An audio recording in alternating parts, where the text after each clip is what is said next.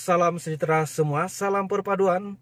Bertemu kembali dalam channel Band Infinity pada kali ini bersama saya yang akan kongsikan kepada semua pada kali ini yang saya akan kupas kepada Anda semua berkaitan dengan pergolakan politik, berkaitan isu semasa dalam negara ini. Tetapi sebelum itulah, sebelum uh, saya teruskan perkongsian pada kali ini, saya ingin mengucapkan terima kasih tanda penghargaan kepada Anda yang sudah subscribe channel ini.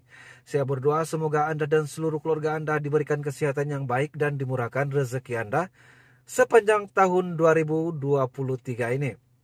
Dan saya tidak lupa juga kepada Anda yang belum subscribe channel ini dan baru menonton video ini, jangan segan-segan, jangan tunggu lama-lama. Tekan uh, subscribe dan butang lonceng notifikasi supaya Anda tidak ketinggalan sekiranya saya kongsikan uh, berita terkini dalam negara ini dari semasa, semasa ke semasa setiap hari. Nah tuan-tuan dan puan-puan semua, tanpa membuang masa lagi, saya akan teruskan perkongsian pada kali ini. Yang mana satu kejutan besar buat seluruh rakyat di Sabah. Di mana Joseph Kurup yang mana Presiden PBRS sebelum ini telah meletakkan dan melepaskan jawatannya sebagai Presiden PBRS hari ini secara rasmi.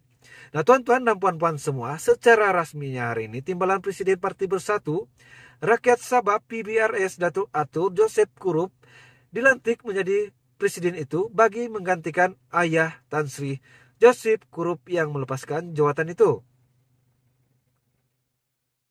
Ketua Penerangan PBRS yaitu Datuk uh, Freddy Sua dalam pernyataan berkata Joseph mengumumkan mengenai hasratnya itu semasa mesyuarat ahli majelis tertinggi EMT PBRS di kota Kinabalu semalam.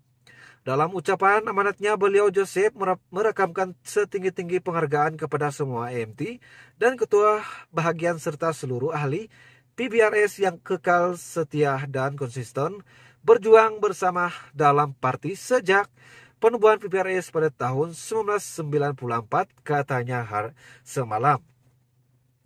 Nah tuan-tuan dan puan-puan semua berikutan itu uh, ahli Majelis tertinggi telah meluluskan usul untuk melantik Joseph sebagai pengurus uh, mengurusi kehormat PBRS berkuasa serta merta.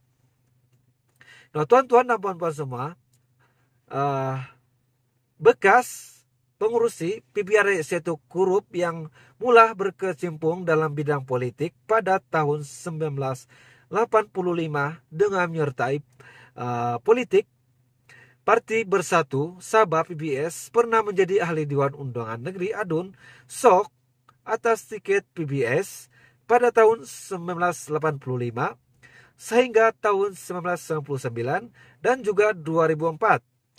Selain sebagai ahli parlemen pensiangan pada 2003, antara jawatan penting yang pernah disandang di peringkat negeri termasuklah timbalan Ketua Menteri Sabah, Menteri Pembangunan Sumber dan Usahawan, Menteri Pembangunan Kemajuan, Teknologi Maklumat, serta Menteri Kebudayaan, Belia, dan Sukan. Dan sementara itu di peringkat pusat pula beliau pernah dilantik sebagai menteri di jabatan Perdana Menteri pada 2013 sehingga 2018 PBRS merupakan parti kepunahan Barisan Nasional bersama AMNO, MCA dan MIC.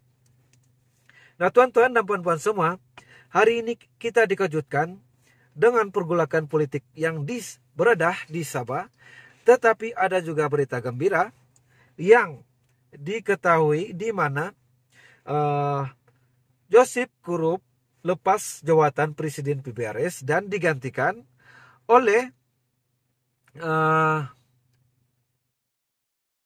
anaknya ya yaitu Datuk Atur Joseph Kurup ya yang dilantik menjadi presiden baru yang berkuat kuasa serta merta.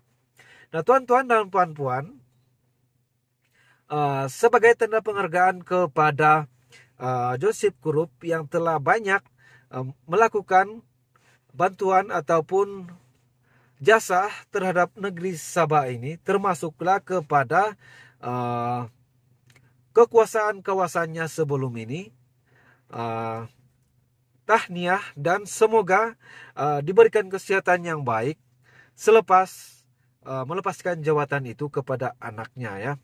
Dan uh, kita berdoa juga kepada uh, Datuk Atur Joseph dapat melaksanakan tugas dengan baik atas pelantikan sebagai uh, pengerusi bersatu yang baru. Nah, tuan-tuan dan puan-puan semua, seperti mana kita tahu, Joseph semalam merekamkan, merekamkan penghargaan kepada semua uh, ahli majelis tertinggi dan ketua bahagian serta seluruh PBRS yang kekal setia dan konsisten berjuang bersama dalam parti yaitu dari sejak parti itu ditemukan pada tahun 1994 dan ahli majelis tertinggi telah meluluskan usul untuk uh, melantik Joseph serta Merta sebagai pengurusi kehormat PBRS yang berkot kuasa serta Merta semalam. Nah, tuan-tuan dan puan-puan semua, antara pencapaian ataupun uh, ya pencapaian Datuk Korup ya selama dalam uh, berkecimpung dalam dunia politik, beliau pernah menjadi timbalan ketua Menteri Sabah, uh, lepas itu Menteri Pembangunan Sumber dan Usahawan, Menteri Pembangunan Sumber dan Kemajuan Teknologi Maklumat, dan uh, Menteri Kebudayaan, Beliah dan Sukan. Nah, tuan-tuan dan puan-puan, Sementara itu juga, di peringkat pusat beliau pernah dilantik sebagai menteri di jabatan Perdana Menteri pada tahun 2013 sehingga 2018. Beliau memang hebat dalam uh, politik ya, yang mana PBRS merupakan parti kemenangan Barisan Nasional bersama AMNO, MCA dan MIC saat ini. Nah, tuan-tuan dan puan-puan semua, Uh, demikian sudah perkongsian pada kali ini. Semoga kita berjumpa lagi dalam perkongsian yang saya akan kongsikan kepada Anda semua dari semasa ke semasa dalam channel Band Infinity ini. Dan paling penting Anda jangan lupa untuk subscribe channel ini, tekan butang loncengnya supaya Anda tidak ketinggalan sekiranya saya kongsikan salurkan berita-berita terkini. Dan sila like dan uh, share video ini dan tanggalkan komen Anda di bawah. Dan itu saja perkongsian pada kali ini. Sekian dan terima kasih. Kita jumpa lagi.